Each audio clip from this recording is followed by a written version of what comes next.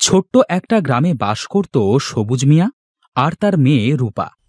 সবুজ মিয়া বনে জঙ্গলে ঘুরে বাঁশ কেটে নিয়ে আসত আর বাড়িতে এসে তার মেয়ে রূপার সাথে বাঁশের তৈরি নানা রকমের জিনিস প্রস্তুত করে গ্রামের হাটে আর মেলায় বিক্রি করত।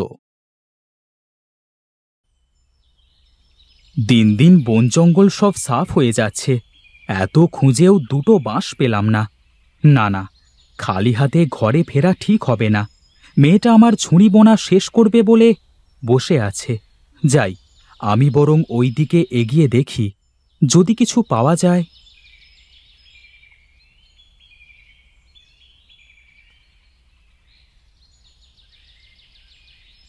এদিকের বাঁশগুলো তো এখনও ছোট। তবে এবার কি করি? সারা দিন ঘুরে ঘুরে বড্ড খিদে পেয়েছে। খালি হাতি বা ফিরে যাই কেমন করে? আরে, ওইদিকে কি?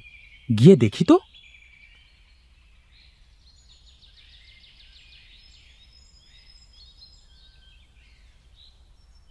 আরে বাহ, এই তো পেয়েছি। হ্যাঁ যাক, কাল হাটে একটা ছুরি বিক্রি হলেও বাপ মেয়ের দুটো দিনের খোরাক হয়ে যাবে।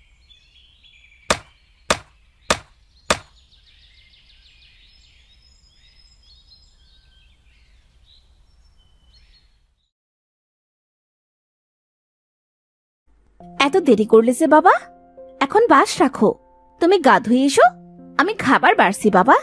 চোখ মুখ কেমন শুকিয়ে গেছে তোমার। তুই কবে থেকে আমার মা হয়ে গেলি বলতো? আমার মা আমাকে এভাবেই বকতো। কথা না শুনলে আরও বকবো। যাও যাও বাবা। তাড়াতাড়ি এসো। আমি দুটো ঝুড়ি তৈরি করেছি। খেয়ে তুমি হাঁটে যাবে বাবা।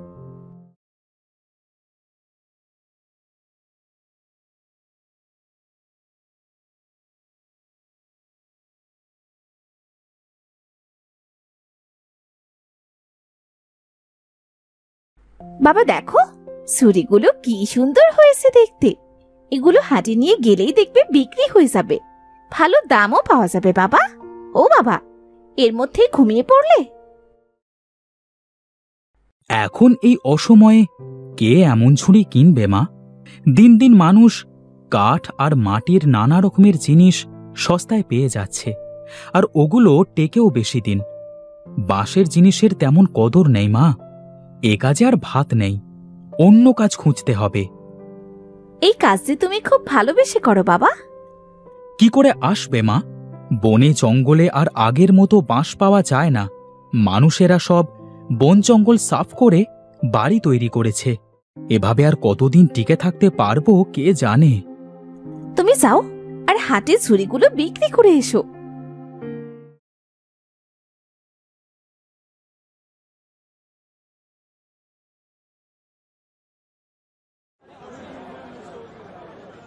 আজ ঘরে চাল, আনাজ কিচ্ছু নেই। আজ কি আমার একটি ঝুড়িও বিক্রি হবে না? এ তোমার কেমন বিচার, খোদা? অসহায়ের কাছে কিচ্ছু নেই, আর ধনীদের অঢেল। তবে অসহায়কে কেন তুমি দুনিয়ায় পাঠালে? কিরে সবুজ, কটা ঝুড়ি এনেছিস? দুটো? তা দে, তোর দুটো ঝুড়ি আমাকে দে তো। হ্যাঁ হ্যাঁ কর্তা এ- এই নিন।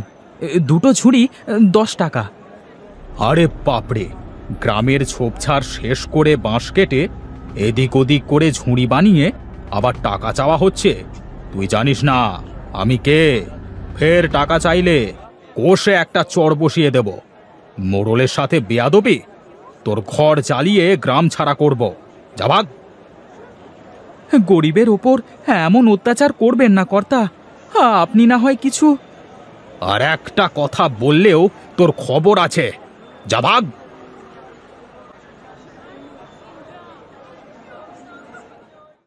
দুর্বলের ওপর সবলের এমন অত্যাচার আর কতদিন চলবে এভাবে আমি যে আর পারছি না। হায় খোদা তুমি কি কিছুই দেখতে পাও না?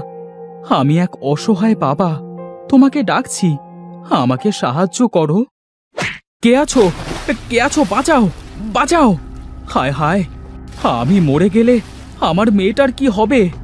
আমার রূপামা কি করে বাঁচবে? হায় হায় হায় হায়।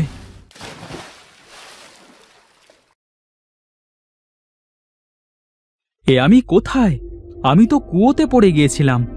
তবে কি আমি মরে গেছি? এটা কি স্বর্গ? এখানে তো সব রূপর, কত কত বাঁশ। আহারে এই বাঁশের কত কি তৈরি করতাম আমি আর রূপা। আমার রূপামাকে যদি এই রূপোর বাঁশের কিছু অংশ দিতে পারতাম মেয়েটার জীবনে কিছুটা সুখ আসতো। তা নাও তো যতটা চাই তোমার। তুমি কে গো? ছোট্ট এক কুকুরছানা হয়েও তুমি মানুষের মতো কথা বলতে পারো? পারি গো পারি। এই রূপোর বাঁশবাগানের দুনিয়ায় সব সম্ভব। রূপোর বাঁশবাগান? এ এটা এটা স্বর্গ নয়। তা কি যে বলো তুমি? পৃথিবীতে এমন অনেক কিছু আছে যা মানুষের অজানা। ধরে নাও এটা তেমনি একটা অংশ মাত্র। আর আমি এটাকে আগলে রেখেছি। কোনো সৎলোক ছাড়া এখানে কেউ আসা তো দূর এর সন্ধানও পাবে না। তাহলে আমি এখন ঘরে ফিরবো কেমন করে? আমাকে আমার পৃথিবীতে ফিরে যাওয়ার পথ বলে দাও মিষ্টি কুকুরছানা। সে তো যাবেই তবে আগে নিজের জন্যে রূপোর কিছু নিয়ে যাও। এটুকুতেই আমার বাপ মেয়ের দিব্যি চলে যাবে। কি বলছো কি? এত রূপো থাকতে তুমি কেবল এইটুকুই নিলে?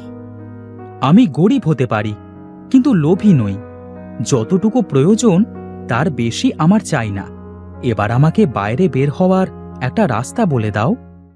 এত সহজে তো বলব না। আগে আমার একটা প্রশ্নের তোমাকে উত্তর দিতে হবে। যদি তুমি উত্তর দিতে পারো তবে আমি তোমাকে রাস্তা বলে দেব। আর না পারলে তুমি এখানে আমার দাস হয়ে থাকবে। আর তো কোনো উপায় নেই। বেশ তুমি যা বলবে তাই হবে। কোন জিনিস একবার চলে যায় আর ফিরে আসে না। সময়। সময় একবার চলে গেলে তা আর ফিরে আসে না। বাহ খুব ভালো। তুমি সঠিক বলেছ। চলো আমি তোমায় রাস্তা দেখিয়ে দিচ্ছি। আর ওই লাল পুটুলিটা তুলে নাও। ওটা তোমার উপহার। ধন্যবাদ। তোমার সাহায্য আমি কোনো দিনও ভুলব না।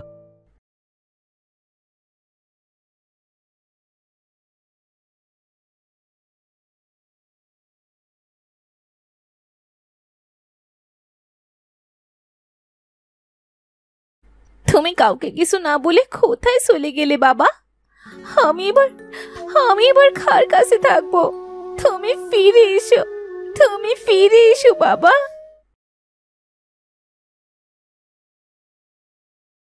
মা রূপা আমি এসেছি। বাবা বাবা তুমি কোথায় গিয়েছিলে? দু দিন হয়ে গেছে। কত জায়গায় তোমায় খুঁজেছি। তোমার কাঁধে কি বাবা? ঘরে চল মা তোকে সব বলছি। আমাদের দুঃখের দিন খোদা দূর করে দিয়েছে, মা। এখন শুধু সুখ আর সুখ।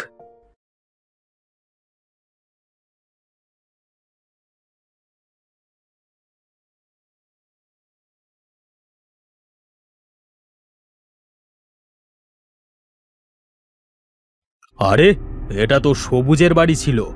ওদের তো নুন আনতে পান্তা ফুরোতো। ওরা এত ধনী হলো কেমন করে? কোথায় পেল এত টাকা পয়সা না না আমাকে সব জানতে হবে। গ্রামের সকলে হুট করে এত ধনী হয়ে গেলে তো আমার চলবে না। দেখতে হচ্ছে ব্যাপারটা কি। বাবা আমাদের তো রূপোর বাসধারে ওই কুকুরসানায় সাহায্য করেছে। কিন্তু তুমি কি করে পৌঁছলে সেখানে? সে তো আমি জানি না মা। মোড়ল মশাই চোর করে আমার দুটো বাঁশের ঝুড়ি কেড়ে নিয়েছিল। ঘরে খাবার নেই বলে আমি কাঁদতে কাঁদতে ফিরছিলাম। আমার খুব কষ্ট হচ্ছিল। আমি কীভাবে যেন পুরনো কুয়োতে বসে পড়েছিলাম আর ওই কুয়ো ভেঙে নিচে পড়ে গিয়েছিলাম। যখন চোখ খুললাম, দেখলাম রূপোর ধুলোয় আমি শুয়ে আছি। চারিদিকে সব রূপোর তৈরি আর চকচক করছে।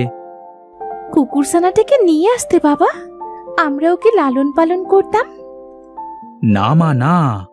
ওই কুকুর ছানাই ওই রূপোর বাঁচার পাহারা দিচ্ছে। ওখানে যাওয়া মানুষদের অনেক উপহার দিয়ে বিদায় দেয়। আরে বাপরে, রূপোর বাঁশঝাড়? সেখানে রূপোর ধুলো?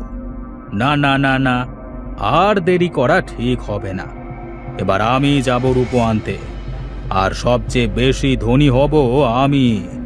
সব তো আমি জেনেই নিয়েছি।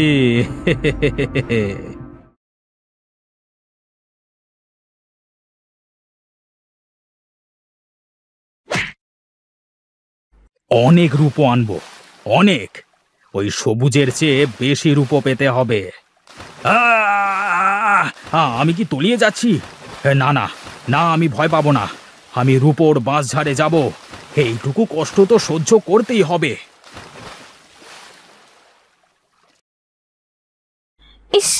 বাবাটা যে কোথায় যায়?